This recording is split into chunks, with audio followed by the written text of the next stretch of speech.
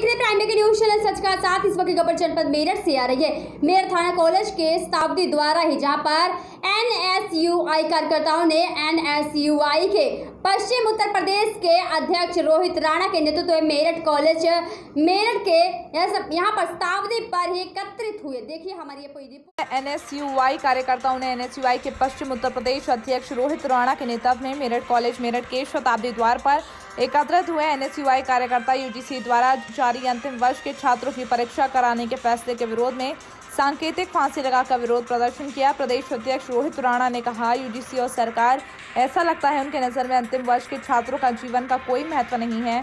जब देश में कोरोना वायरस महामारी और तेज़ी से फैल रही है तो परीक्षा कराने का कोई औचित्य नहीं है।